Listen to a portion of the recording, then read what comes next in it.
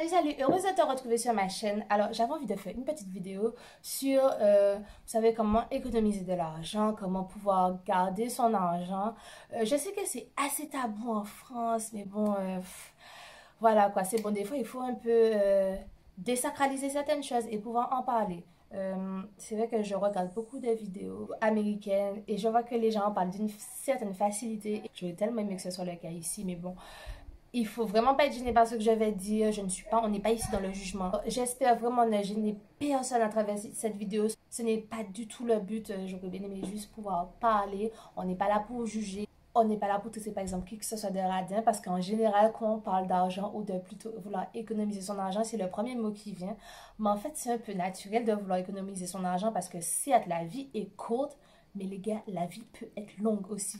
Hein? Euh, il y a des gens qui meurent à 100 ans, donc la vie peut être longue. Donc, c'est pour ça il faut savoir économiser tout en profitant. Je pense que les deux sont possibles. La première chose que tu dois faire si tu veux pouvoir économiser de l'argent, c'est peut-être savoir pourquoi tu veux le faire. Est-ce que c'est parce que tu veux t'acheter une maison, tu veux t'acheter une voiture, tu veux pouvoir t'acheter ta formation, euh, tu veux pouvoir t'acheter ton permis, enfin ton, ton code, en fait, t'as compris, euh, ou juste parce que tu as envie pour X raison que ce soit, d'avoir un peu plus d'argent euh, sur ton compte. Donc, sache pourquoi tu le fais et c'est ce qui va t'aider à pouvoir faire tout le reste. Donc, je te donne quelques petits exemples de choses que je fais ou que d'autres personnes font autour de moi pour pouvoir garder, économiser et voilà. Et si vous likez, que vous commentez, que je vois que vraiment c'est un sujet qui vous intéresse, je ferai plus de vidéos à ce sujet économiser de l'argent, essayer d'acheter des choses réutilisables. Alors, quelque chose que je ne fais plus chez moi. Bon, euh, maintenant, je suis chez ma mère, donc euh, il faudra voir comment j'arrive à les convertir. Mais en tout cas, quand j'étais chez moi, euh, je n'utilisais plus de sopalin, de papier pour essuyer. En fait, je me suis rendu compte, pourquoi quand les gens veulent éponger quelque chose, ils prennent du sopalin C'est tellement mieux de prendre une éponge ou une serviette réutilisable. vous savez, les serviettes en tissu, quoi. Donc maintenant, même quand je mange, tout ce que je fais, j'ai ma serviette en tissu, j'ai mon torchon, je ne sais pas comment vous voulez l'appeler, et c'est fini. Je n'achète plus du tout. Mon sopalin, dites-vous, il est juste là pour ma friture. Donc, j'ai gardé le même rouleau pendant un an. Parce que je l'utilise à peine. Je ne fais pas beaucoup de friture.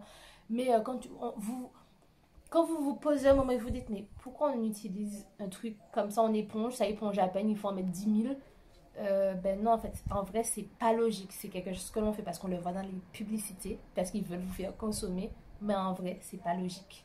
Ce qui est réutilisable et que vous pouvez également prendre. Bon, je me suis acheté des à ça, il y en a acheté 10 000. Et il faut pas en acheter juste parce que vous dites que maintenant on en fait des réutilisables. Il faut les acheter parce que vraiment vous les utilisez. Sinon, euh, c'est plus la peine.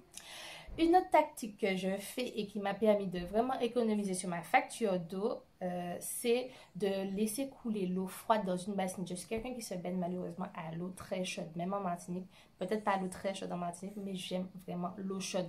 Donc je suis obligée de laisser couler l'eau froide. Et avant, je laissais ça juste aller dans, ben, dans la salle de bain et je me suis rendu compte que, mais, que ça n'avait pas de sens en fait de le faire. Il fallait mieux récupérer cette eau. Donc en fait, ce qui s'était passé, c'est que j'avais eu un problème avec mon, mes WC. Et là où j'habitais, on n'avait pas accès.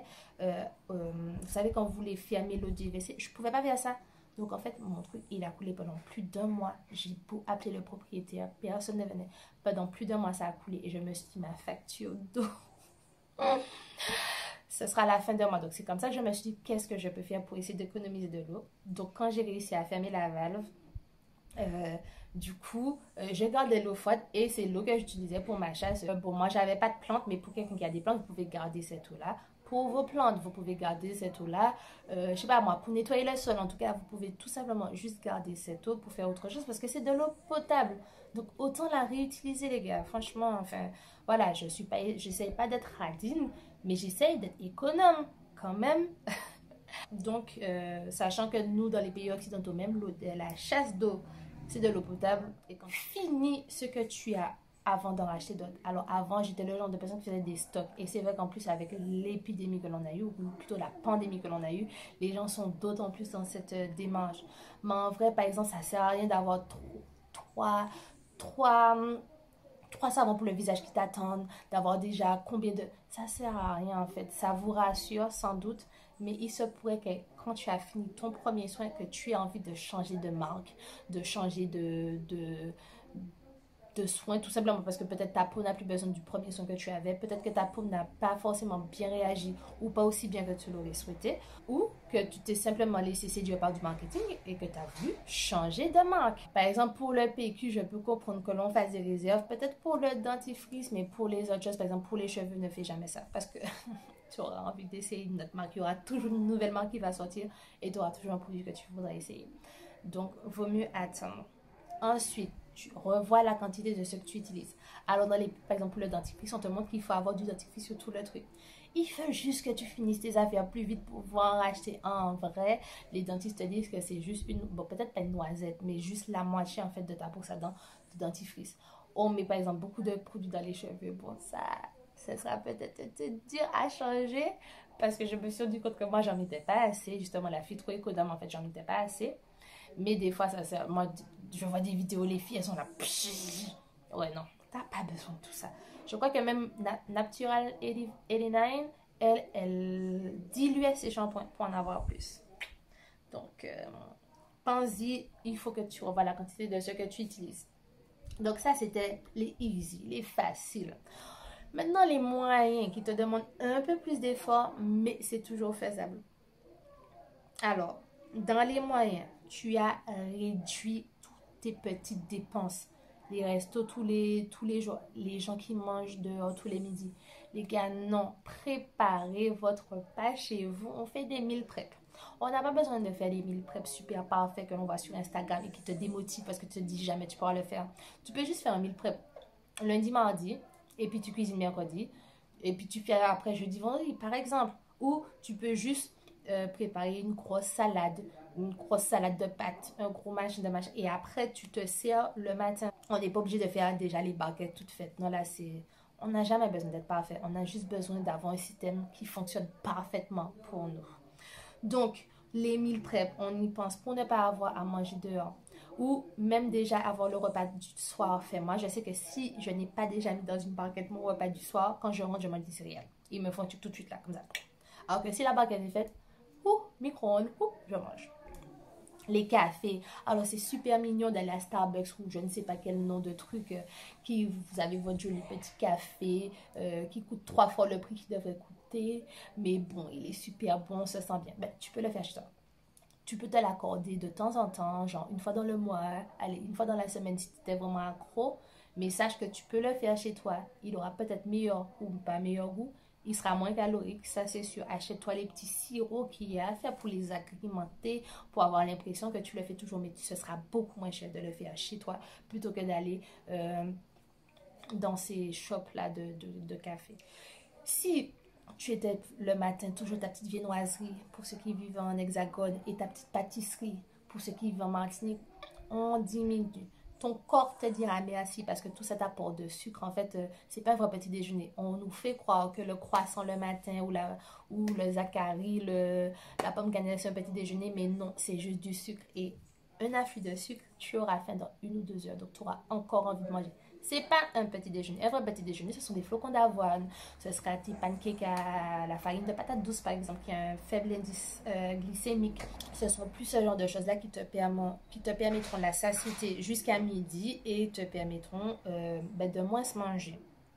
Ou de ne pas avoir ce pic où tu as super faim. Tu as pris ton petit déjeuner assez de toi, tu as fait un 9h. Oh, je déteste ça. Ensuite, il y a vos achats. Alors en fait, quand tu es prête à acheter, attends N'achète pas tout de suite. Je sais que tu te dis, ah, peut-être qu'il y aura plus matin. Mais en fait, attends. Attends 24 heures. Attends 2 jours, 3 jours. Attends. Et une fois que tu es prête à, à acheter cette robe, cette paire de chaussures, cet appareil, pose-toi la question. Est-ce que j'en ai vraiment besoin? C'est vrai? Est-ce que, est-ce que je ne me suis pas plutôt laissé influencer par les réseaux sociaux, par ma copine? En ai-je vraiment besoin? Si c'est un vêtement, avec quoi ça ira? Moi, je suis la reine d'acheter des trucs qui vont pas ensemble. Donc, en fait, j'ai plein de vêtements, mais comme ils vont pas ensemble, eh bien, finalement, j'ai rien à me mettre. Donc, avec quoi je peux mettre ce vêtement? Et surtout, quand je pourrais mettre ce vêtement? Parce que j'adore les robes de soirée et je ne vais pas en soirée. Dans ma carte de robes, j'ai plein de robes parce que j'adore les robes et je les trouve magnifiques, mais je vais nulle part. Moi, je fais boulot, dodo, sport, voilà. Voilà, ma life, voilà ma vie. Euh, je ne sors pas, mais j'ai etc. de robes pour au cas où. Ben non, en fait, tu réfléchis. En ai-je vraiment besoin Est-ce que je me suis pas plutôt laissé influencer? Avec quoi ça ira? Et quand est-ce que je pourrais le mettre? Donc ça, c'était les moyens. Donc maintenant, on va à la Et là, c'est pour les confirmer, c'est pour les guerriers, les guerriers qui ont vraiment envie d'avoir euh, leur pourquoi. Vous n'oubliez pas votre pourquoi, il faut jamais oublier votre pourquoi. Donc, c'est...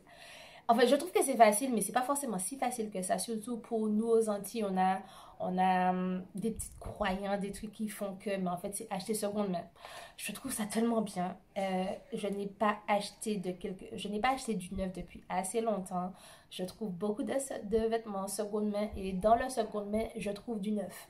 Donc euh, voilà, c'est des, vous achetez presque la même chose pour la fraction du prix. Et ce que j'aime vraiment sur les, dans les boutiques vintage, les boutiques de seconde main, en fait, c'est la qualité. Parce que ce sont souvent des choses d'avant, donc elles sont, on ne va pas euh, le déni, elles sont tout simplement de meilleure qualité. Du coup, je suis vraiment une fan, une addict du second main. Et encore même dans le second main, je n'achète pas beaucoup. Parce que si j'en ai pas besoin, je ne vais pas non plus dépenser mon argent juste parce que. Mais c'est vrai que quand ben, je me dis, ok, euh, quand j'allais par exemple sur Paris, je vais vous mettre les listes des boutiques que j'aimais bien. Ben voilà, j'achetais du second main et j'ai adoré ça. Euh, là, par exemple mon sac à main s'est cassé. Euh, je voulais acheter en seconde main, mais en fait, j'ai demandé à ma mère si elle n'avait pas des sacs qu'elle n'utilisait pas. Et il se trouve qu'elle avait de très beaux sacs en cuir euh, qu'elle n'utilise plus. Donc euh, voilà, je ne suis pas quelqu'un qui achète du cuir parce que je ne suis pas... Oula, je ne suis pas pour l'industrie euh, des animaux. Mais comme il est déjà là, voilà, c'est pas quelque chose que j'ai acheté. Tous mes sacs en cuir, c'était soit des cuirs recyclés, c'est-à-dire des divans en cuir que les gens, ils ont recyclés, ils ont fait d'autres choses, toujours pour ne pas jeter, en fait. Je sais que tout le monde peut ne pas comprendre ma démarche, mais je me dis que c'est déjà là. Autant le revaloriser et, l'avoir plutôt que d'aller tuer d'autres animaux. Essayez de ne... Franchement, si vous aimez le neuf, ok, mais essayez de ne pas acheter du cuir neuf parce que qui dit acheter du cuir neuf, c'est dire aux gens, c'est dire aux gens que vous en voulez d'autres. Donc, c'est encore une industrie qui va continuer. Moi, je préfère acheter ce qui est déjà là. Ma mère, elle avait un sac qui était là en train de ne pas être utilisé. Donc, je lui ai donné une seconde vie et je le réutilise. Donc, pensez aux secondes mains, pensez euh, au dressing de vos grandes soeurs, de vos mamans, de vos tantes, où vous pourrez trouver des pépites. Moi, j'adore. Je peux vous faire une vidéo sur tout ce que j'ai acheté seconde main.